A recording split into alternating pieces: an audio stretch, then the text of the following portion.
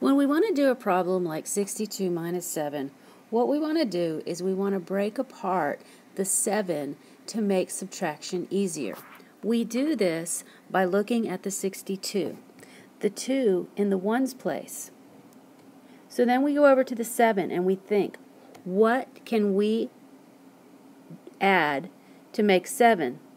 2 plus 5 equals 7. On a number line, we can place the number 62. And then what we do is we can jump back two places and we get to our friendly number of 60. And then when we're at 60, we can jump back five more places and then we will land on 60, 59, 58, 57, 56, 55. 55. So 62 minus 7 equals 55.